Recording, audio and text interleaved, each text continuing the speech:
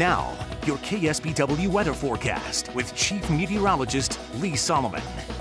Good evening, everybody. We've got a pretty strong wind going out there. We also have a few clouds that are forming up. Uh, there's actually a cold front that's just sort of sweeping on through. It's mostly off to our east. We're certainly not going to get uh, the rainfall from it, but we're getting some wind. Uh, temperatures today uh, managed, uh, you know, about 60, upper 50s, uh, low 60s, a lot of spots, and that's kind of where we are right now. And then you take a look across the state, you can kind of see spring coming in. 80 in Palm Springs today while it was still in the 40s and low 50s up there uh, in the Sierra. So, you know, it depends on where you're going this time of year because it's not the same everywhere, certainly uh, now as we get past winter and we start creeping into spring. Middle 60s, Sacramento, upper 60s in Fresno, Bakersfield about 68. We got a 71 Santa Barbara, so some downsloping winds there. And temperatures now have really dropped off. You can see the 30s back up there in Lake Tahoe, still doing 78 though in Palm Springs. That's partially uh, due to this cold front again that's coming in mostly with just cooler air, though, and a few clouds, uh, but not many. You can see uh, the visible satellite picture showing they're uh, kind of spread uh, on and off through the area. The front, though, has uh, pushed on through. Uh, you saw a few snowflakes pushing east of the Sierra now out towards Boise, Idaho Falls, Great Falls, Montana, Salt Lake City, but this is not a major snowstorm for anybody, but still letting you know that winter is still around.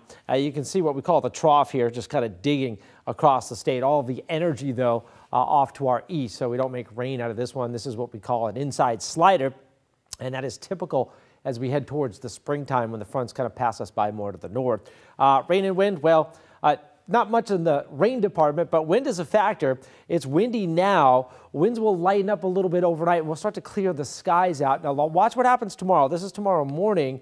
And then by afternoon, see that offshore flow start to kick in?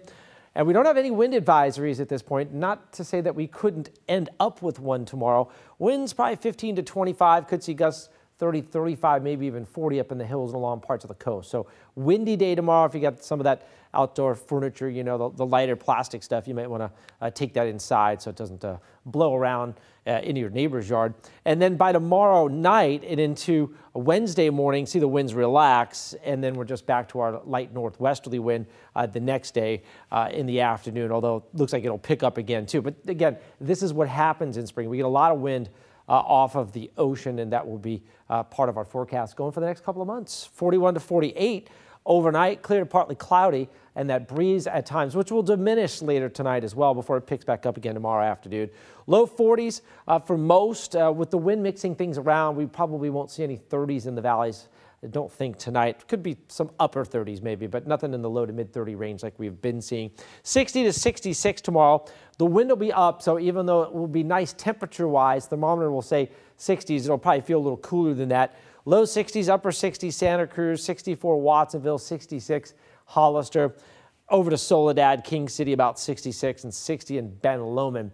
Nice looking forecast here, especially if you we're looking for some dry weather, which course we have had a lot of that lately and through most of the winter. But look at the temperatures by the end of the week into next weekend. So we'll peak sort of on Wednesday for the mini warm up, and then we start really building high pressure in mid 60s to middle 70s starting Friday, Saturday, Sunday, Monday. So an extended period of dry weather, as we had predicted last week, will take us through the end of the month without any more rain. But April, yeah, we usually get some rain in April, 30s and 40s for your overnight low. So we'll still be chilly at night, but real nice weather to start those spring projects. I think we'll get all that going in the next five to seven days. Ah, lovely. Yeah, very good. Yep.